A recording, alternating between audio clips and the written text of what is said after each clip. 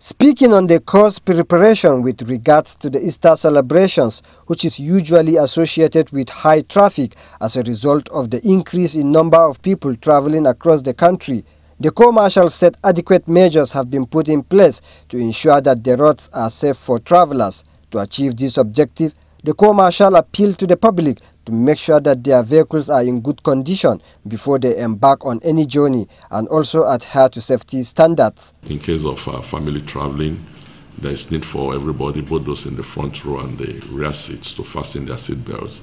The children must not be put on the front seat. The wife should learn to sit at the back and let the child stay with the, with, with the mother at the back seat, with the child restrained seat.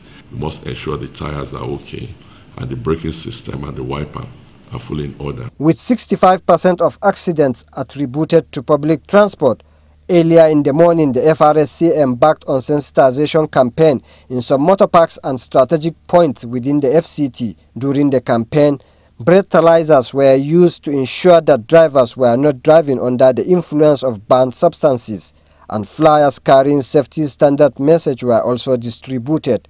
In Abuja, Aliyu Tukur, NTA News.